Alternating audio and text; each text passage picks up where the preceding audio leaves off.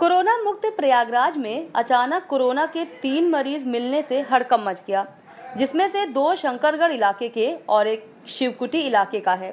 खबर मिलते ही दोबारा इलाके और शहर की सीमाओं की चेकिंग बढ़ा दी गई। आने जाने वाले लोगों को चेक किया जाने लगा। शिवकुटी के शंकर घाट इलाके को बैरिकेड कर दिया गया है। मेडिकल टीम द्वारा अब शिवकुटी के शंकर घाट से परिवार के सात लोगों को जाँच के लिए ले जाया गया है। तीन लोगों को कोरोना पॉजिटिव मरीज़ मिलने से हड़कम मचा हुआ है।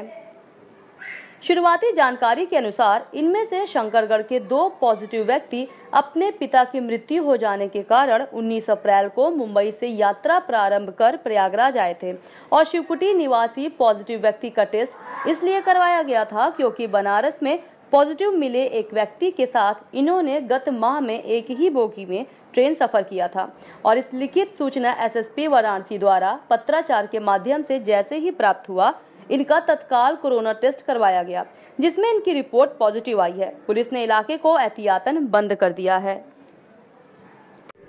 घाट पे कोयला वाली गली में अभी एक पकड़े गए हैं, जो इनका नाम तो हमें नहीं मालूम लेकिन ये हमारे क्षेत्र में पकड़े गए हैं निगेटिव पॉजिटिव पाए गए हैं।